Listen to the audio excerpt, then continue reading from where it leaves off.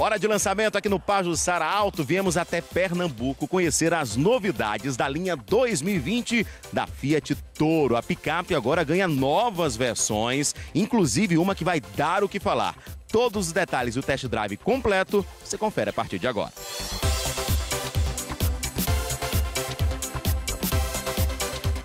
O Fiat Toro é sucesso de vendas desde 2016, quando foi lançado e criou o segmento entre as picapes compactas e médias.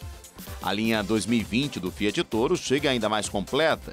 São três novas versões agora e mais uma que chega no final do ano. Apesar de já ser a mais equipada picape do segmento, a Fiat Toro 2020 fica bem mais completa com a nova central multimídia, maior agora com tela de 7 polegadas e de última geração e o novo design do para-choques, que agora conta com o Overbump, um para-choque de impulsão com quebra-mato, que se integra totalmente ao desenho frontal do Fiat Toro em todas as versões.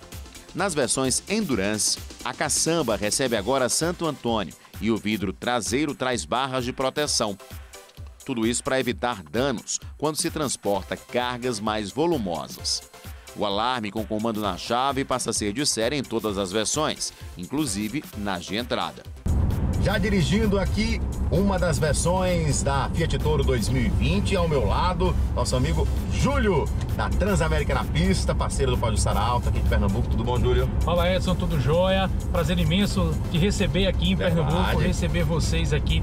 É muito bom fazer novamente um test drive juntos aqui a bordo agora do Toro 2020. Pois é, o Toro é como a Fiat está preferindo chamar, né? O modelo. E aí a gente vai falar um pouquinho das versões. Na apresentação ficou bem clara que a Fiat quer não só manter essa liderança no segmento de picapes, né, que ela conquista já há muito tempo com a Estrada, que é a picape de entrada compacta, com a própria Toro, que é, é, é, tem exatamente um público tanto nas de, de entrada como também nas, até tirando o público de picapes médias, né, Júlio? E eles ficou bem claro isso, eles querem expandir essa presença das, da linha de picapes da Fiat, por isso que oferece agora novas versões. É, são várias versões, né, opções de, de motorização, justamente para isso, para é, conquistar ainda mais o público de picape. Como você ressaltou agora há pouco, a gente viu isso na apresentação de ontem, desde a estrada, que é de entrada, a Fiat está aí na liderança.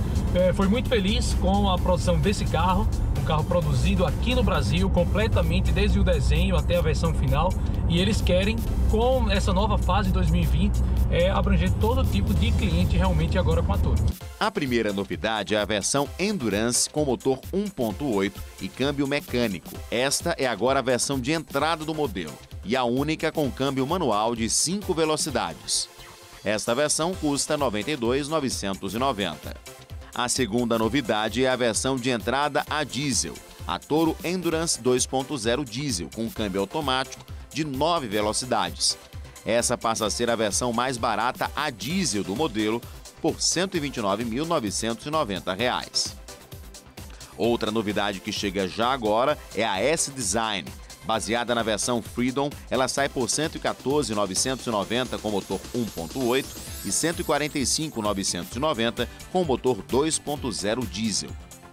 O diferencial da versão S-Design é o visual, com faixas adesivadas no capô e tampa traseira da caçamba, identificação da versão e motorização escurecidos, assim como o emblema da Fiat em preto fosco. A versão traz ainda Santo Antônio e estribos laterais em preto, no lugar dos cromados. As rodas também possuem acabamento escurecido, assim como os detalhes do interior do modelo. E como já destacamos, a versão que surpreendeu todo mundo foi a Ultra, com uma tampa rígida na caçamba.